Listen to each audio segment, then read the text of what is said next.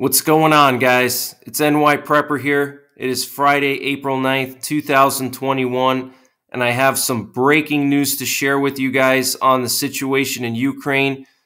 We now have official confirmation that the United States plans to send two warships into the Black Sea sometime next Wednesday or Thursday and the warships are going to remain in the Black Sea until at least May 4th. Okay.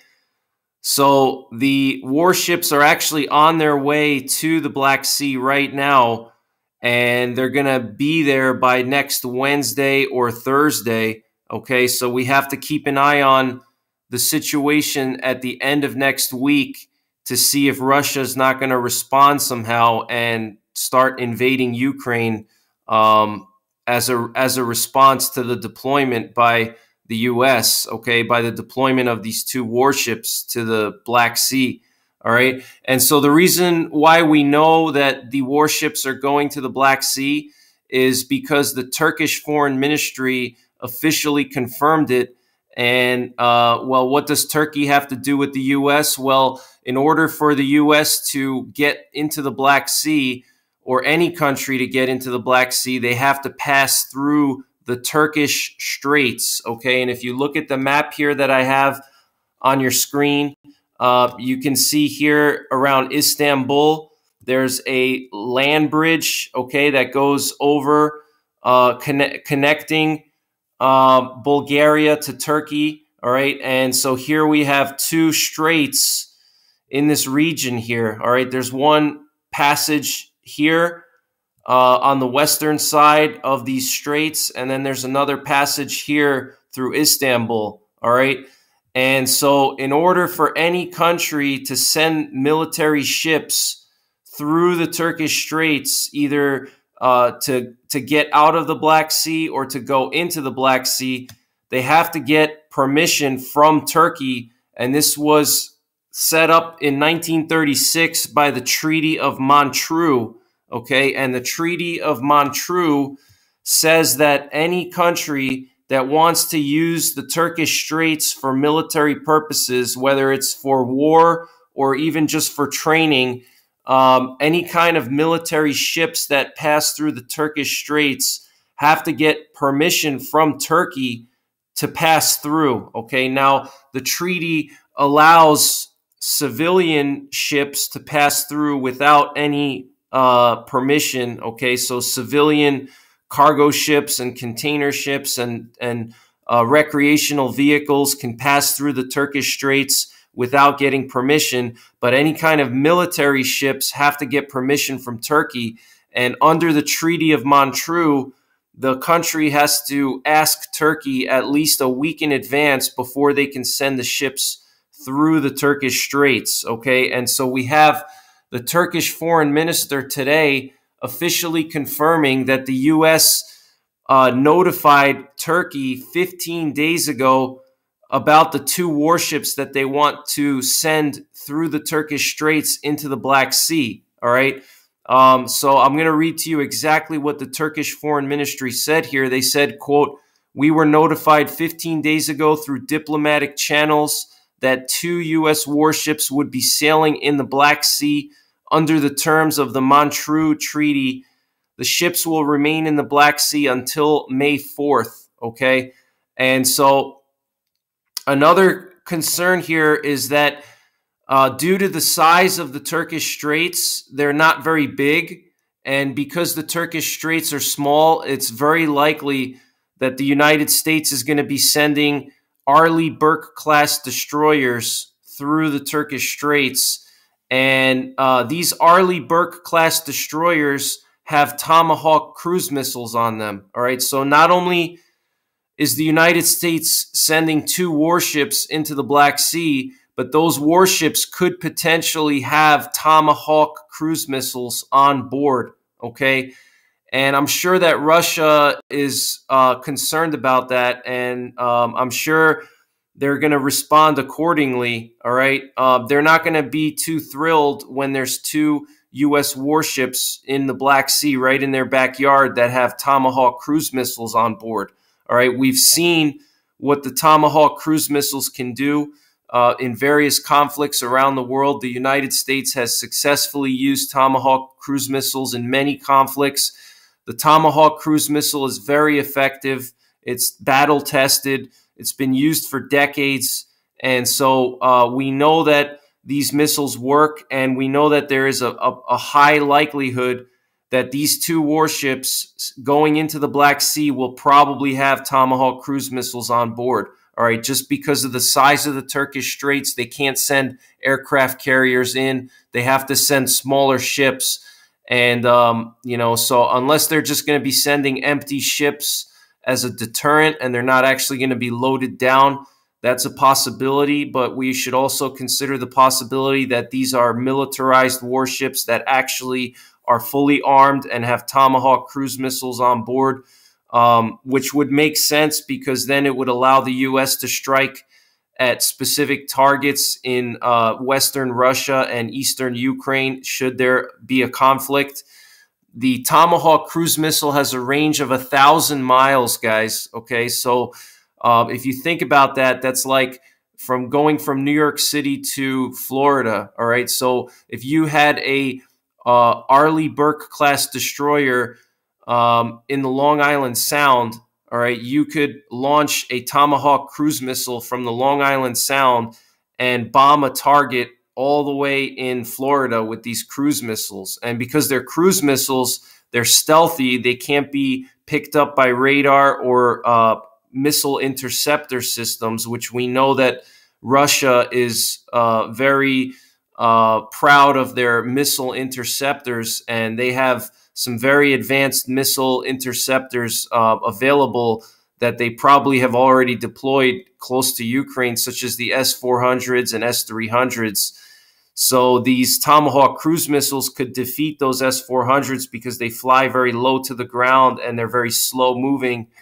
And uh, they have a range of a thousand miles and they can hit a target within a, a few meters. Okay. Their margin of error is within a few meters. So they are very precise. They can hit very small targets as small as a house or even a specific uh, artillery position. They can hit that from a thousand miles away, guys. That's very impressive technology. So I wanted to bring this to your attention. We officially have confirmation that there's two U.S. warships going into the Black Sea. They're going to arrive sometime next week. So we have to be very vigilant next week to see what Russia's going to do. We know that they're going to stay until May 4th, at least May 4th, and they could potentially have Tomahawk cruise missiles on board. Um, so this is a very serious move by the United States. I don't think uh, Russia's going to like that.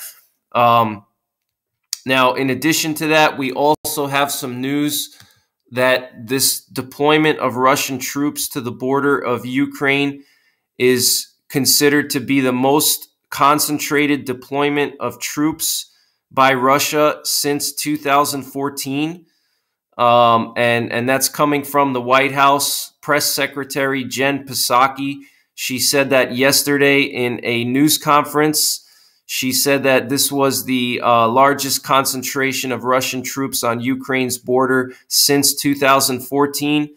Um, and uh, I'll read to you exactly what she wrote here or what she said. She said, quote, the United States is increasingly concerned by recent escalating Russian aggressions in eastern Ukraine, including Russian troop movements on Ukraine's border.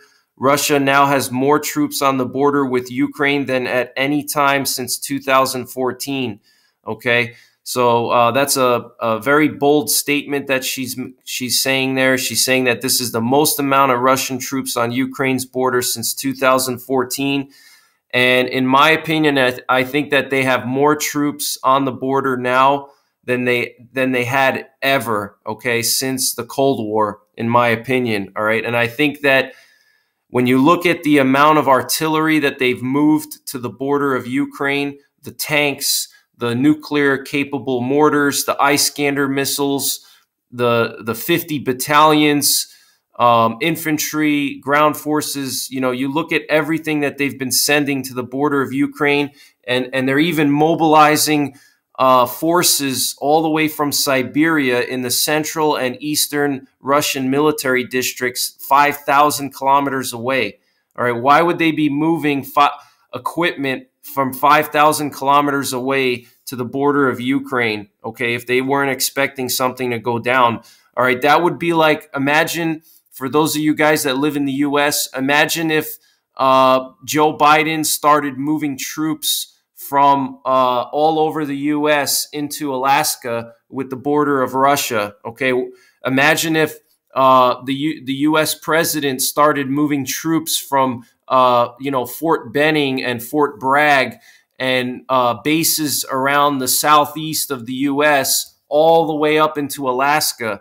All right, why would he do that if he wasn't expecting some kind of massive invasion or some type of a conflict. All right. Countries don't typically do that. All right. Because it, it costs a lot of money and it exposes their flanks. Okay.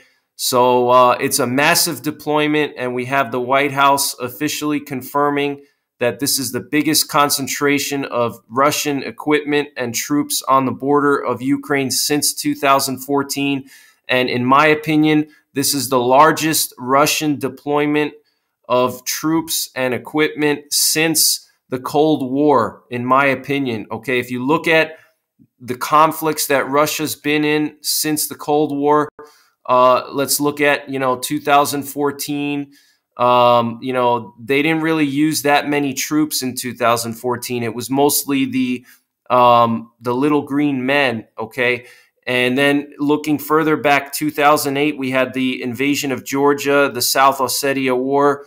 Uh, Russia didn't deploy as many troops as they did in the last two weeks. You know, um, in 2008 in Georgia, they deployed troops and equipment, but it wasn't as much as we're seeing now in in the last week or so. All right, and then going even further back, if we look at Chechnya, even in Chechnya, the the, the war in Chechnya was more a counterinsurgency type of deployment by Russia, and it was more similar to uh, the U.S. war in Afghanistan and, I- and Iraq. It wasn't really a huge deployment of conventional forces. Okay, so guys, in this is just my opinion, and you can do the research yourself. But I'm 100%. I know I'm I'm right on this. That this is the largest deployment by Russia, or uh, this is the largest troop movement by Russia since the Cold War. Okay, when you when you're looking at conventional forces and the deployment of conventional forces, this is the largest movement of conventional forces by Russia in over 30 or 40 years. Okay, this is a very massive movement here. There's estimates of a, a, at least 250,000 uh, troops being moved to the border of Ukraine and possibly thousands of tanks and artillery and uh, Iskander missiles.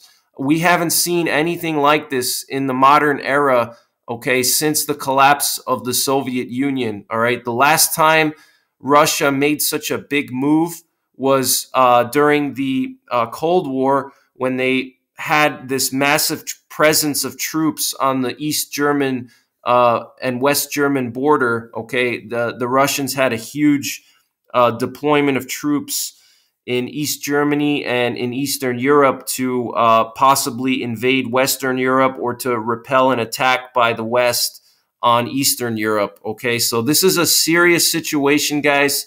I'm going to stay on top of it.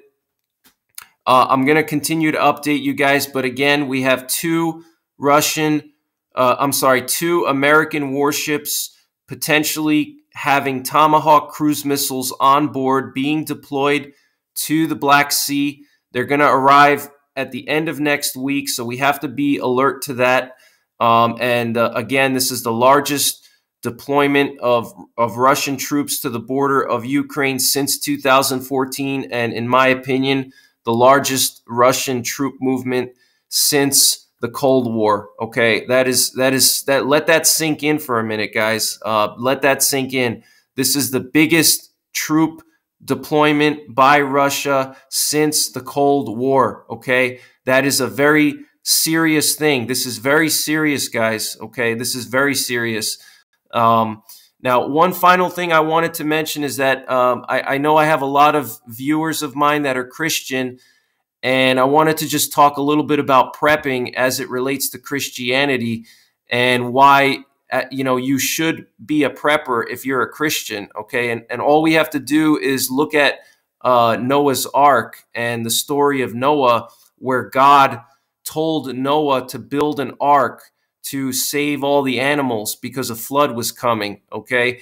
And so we're pretty much in the same position as Noah because God warned us about what is going to happen in the end times. Okay. Um, if you look at Matthew chapter 24, Jesus told Matthew and, and his disciples of what the end times is going to look like. And the reason why Jesus told his disciples what the end times is going to look like is because he wanted them to write it down and and uh, warn future generations. He wanted us to know what the signs uh, of the end times would look like, so we could prepare ourselves. Okay, and uh, preparing yourself is not just spiritual. Obviously he wants us to have a strong relationship with him and pray and and put our faith in him but we also have to physically prepare as well all right uh, he warned us about the end and what the end would look like because we have to physically be prepared also all right we have to be physically prepared to endure the uh, cataclysmic events that are going to happen in the end times Okay, we have to stock up on food and water. And just like Noah uh, was told that the flood was going to come and he was instructed by God to build this ark, um, it's kind of the same thing when you look at the Bible, all the warnings that we've been given. Uh, of the end times and and you know what's going to happen there's going to be pestilences and wars and different things. Okay, very bad times. There's going to be an invasion of Israel. There's going to be a mark of the beast. There's going to be a global religion. All right. Uh, this is these are all warnings to us. God is trying to warn us about these hard times that are coming. Okay, and the reason why He was warning us is He wants us to be spiritually ready. So uh, when He returns, uh, that we're we're ready to uh, go to heaven but we also have to physically prepare ourselves and be able to protect ourselves and protect our family uh, during these hard times. Okay, so think of yourself like Noah and you're trying to build an ark for yourself, okay, and for your family and for your community. All right, there's nothing wrong with doing that as long as you remember that the most important thing is Jesus Christ and that only Jesus Christ can save you and not your physical, tangible preparations that you make. All right. As long as you keep that in mind, there's nothing wrong with being a prepper and a Christian. All right.